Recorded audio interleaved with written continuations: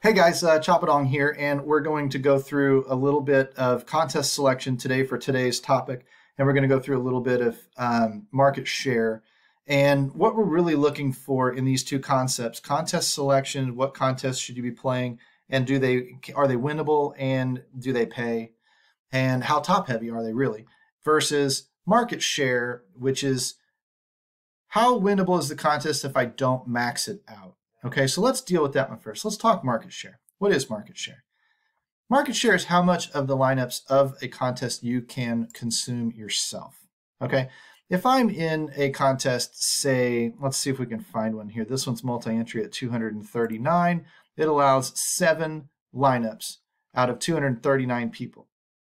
If I do seven lineups out of 239 people, that's seven divided by 239, 2.9%, 3%.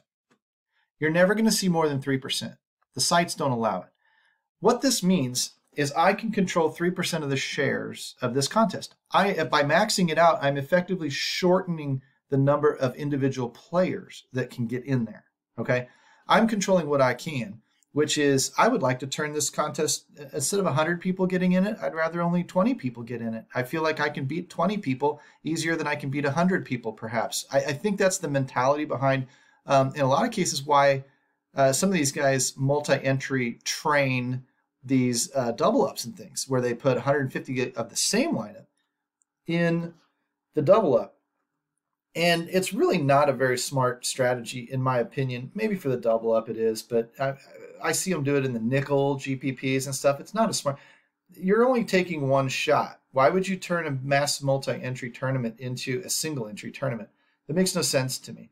The single entry tournament, nobody has an advantage over you because they only get one lineup, one shot each. In 150 max, the 150 lineup guy has an advantage over the single lineup guy because he's taking 150 different chances, taking 100 different 50 different shots at the nut. He can play different combinations. He can use different players. He can use off the wall plays. He can use chalky plays. He can do a lot of different things where you only get one shot.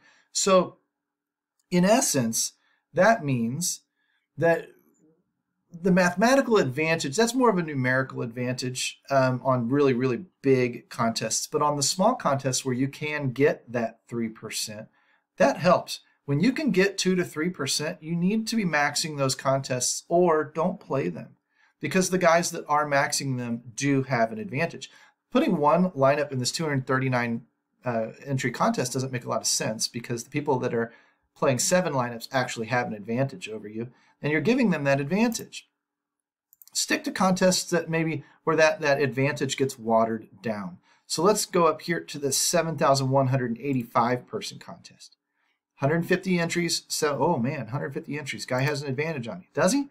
2.9% is about the max you'll find. But if I put 150 lineups into 7185, I've only got a 2.1% advantage. All of a sudden it dropped a percent. Why? The contest is getting bigger. As the contest gets bigger, I have less and less uh, market share when I when I max out this contest. Therefore, I have less and less of an actual edge over you if I max it out because the contest is big enough that I, I'm not able to gobble up as much. For me to get a 3% market share out of 7,185 people, I'd need to be able to put 215 lineups in here and it won't let me. Okay, so if we go one step further up here into the 23,900 whatever, watch this. 150 entries, 23,952. Oops, gotta get my calculator back up again. 150 entries, 23,952. Not even 1%, 0.6% market share you enter one lineup or you enter seven lineups or you enter 25 lineups or you enter 55 lineups you've got literally no advantage over i've got no advantage over you if i put 150 in this thing the only advantage i really have is that i'm taking more chances than you. I'm not consolidating the tournament. I'm not shortening the player field in this tournament at all. Not like in a 3% contest. I'm doing this in a 0.6% contest. It doesn't make a lot of sense. Um, it, it, does make sense to max it out if you want to, but somebody who's not maxing it out can also compete in this contest. Because the contest is so big, it kind of negates the advantage of the guy maxing it out. That's what you find in your nickels and your quarters in a lot of cases. When you start finding other contests, like let's jump over into NFL because I want to, we'll talk a little bit more about um, what we're looking for here. Now see, tonight we've got an 820. I want to show one contest in specific here that's on the full slate, not on the single game. Maybe we'll come back to the single game. But if I come down here to the $1 contests, there's one right there. It's a big one. 150 out of 142,000, 143,000 people. 150 divided by 143,000 people is a tenth of a percent, right? Like no advantage whatsoever. Okay. But if I come down here to this multi-entry contest here, 4705, I can put 150 into that. 150 divided by 4705, and there's my 3%, 3.1%. It's actually the highest I've ever seen. 2.97 is the highest I've seen. 3.2%. This, if you're going to enter this contest, you must max it out. Otherwise, don't enter it at all. Go to the other one. Go to the great big one. Okay? Because you're giving up an you're giving up an edge here if you enter this and don't max it out because the contest is small enough for the number of entries. Uh-oh. I lied. Look, it's only 100 max. Well, there you go. So 100 divided by 4705 is 2.1%. There you go. Now we're back into the now we're back into the ball game a little bit. But what I was getting ready to say was if you can get that 3%, then you should not be in this when you, if you're not going to fill the 3%. That's the takeaway here, okay? So if you can fill up to 2% or up to 1%, it becomes less and less important as this percentage number gets smaller. You just take the number of entries that you are allowed and then divide by the number of players or whatever the number of lineups that can be entered into the contest, get a percentage. The smaller the percentage, the less the advantage is over the guy maxing it out. Okay, that's really all that means. Now, how winnable are these contests? Because to be quite honest with you, um, you're going to beat 1,100 people more often than you're going to beat 4,700 people more often than 29,000 more often than 142,000 people, right? The bigger the contest, you get a 1 in 1,100 shot, a 1 in 4,700 shot, a 1 in 29,000 shot, a 1 in 140 something thousand shot.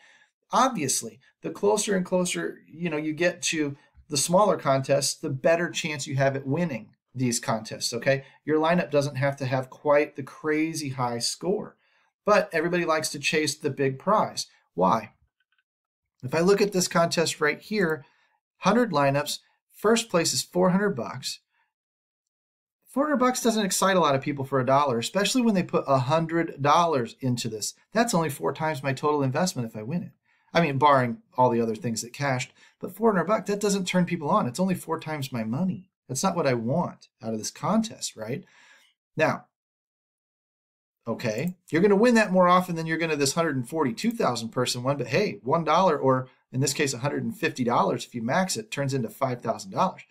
$5,000 divided by 150 bucks is 33 times your money, right? Times your total investment.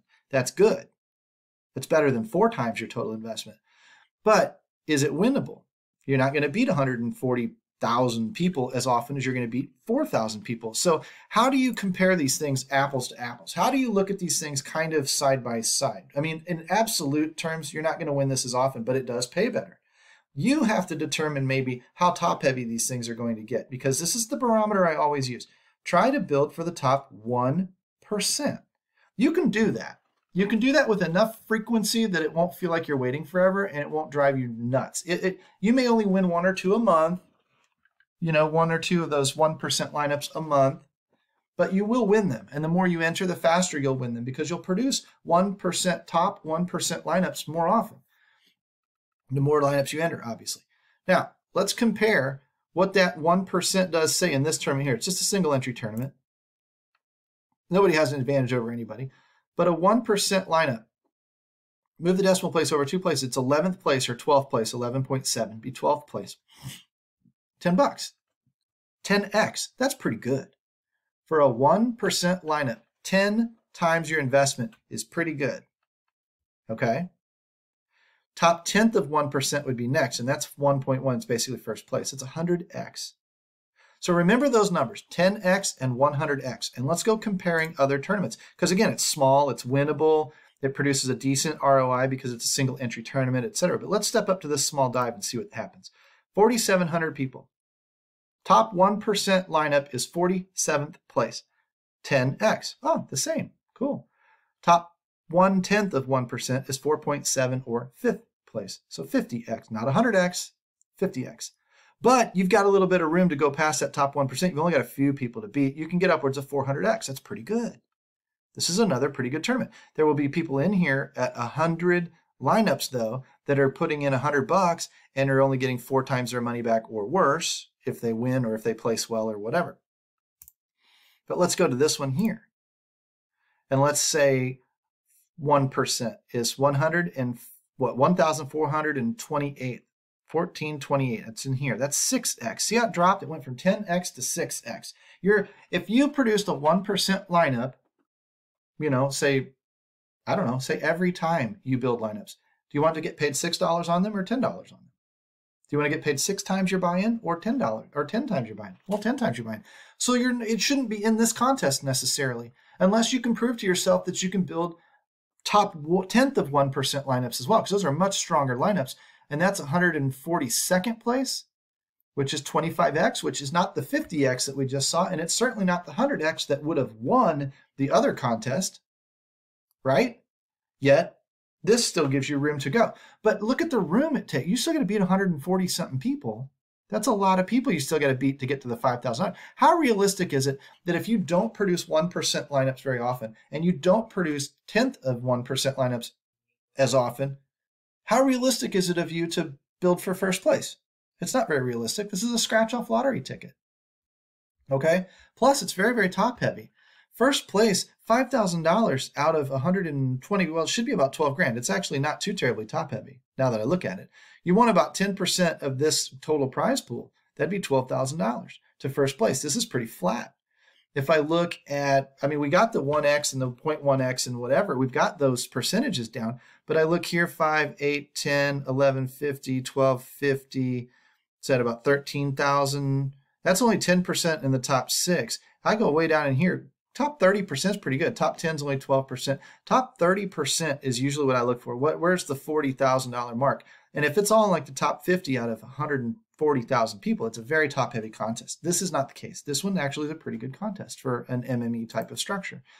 If I come up here into the quarters, it gets a little ridiculous because now I've got 150 lineups, no mathematical advantage whatsoever by maxing this. It's just taking more chances, right? But 1% is 3,113th. So 3,113th, 1x. That's only 4x. We could get 10x in other contests. We can get 6x in a reasonable, we're only getting 4x now. Would you rather get paid four times your money or 10 times your money, right? Now, the thing is, this has a much bigger first place. So if you really get lucky, you got a big ROI for that. But if we go top 10th of 1%, that's 311th. So 311th is 5. That's what, out quarters? That's 20x when we had 25 and 50 and even 100x. Do you see where I'm going with this? The smaller contests may look worse on paper. They may look worse to your sexy eyes because everybody wants to turn a quarter into $2,000. But the other contests pay better. What are you doing? What are you in these things for unless it's just for fun or unless you're trying to prove that you can beat 100 and some odd thousand people or 300,000 people in this case? How often are you going to create a 1 out of 300,000 lineup? Even if you have twice the advantage of everybody else in this competition, you're only doing it twice out of 311,000 tries. And if you do it twice in 311,000 tries, it's once every 150,000 tries. Can you wait that long? Can your bankroll wait that long? If the answer is no, you're in the wrong contests. I just showed you what contests to enter. Come down here and play the more reasonable things. You could even play something like this or something like this, or even a single entry like this. What, one, two, three, four of them? And I guarantee you when these fill, they probably put another one up there. You got four shots at these. If I put $4, one in each of those, that's 25 times my money right there. $4 invested across these and I win one of them, I win 100 bucks. This is how you grow your bankroll. You get into these more reasonable, more winnable tournaments and you stay out of these lottery ticket tournaments. Does that make sense? Hopefully that makes sense. This is the kind of stuff we teach you inside dfsarmy.com. This is the kind of stuff we talk about. So why don't you do yourself a favor and come become a VIP? Use the coupon code CHOP, C-H-O-P, get a 10% off discount. Come in and look me up. Let's talk. I want to make you a better player, and I'll do it by teaching you bankroll and contest selection and market share and fundamentals of constructing winnable lineups. Get in here. I'd love to talk to you. Take care, guys. We'll talk to you soon.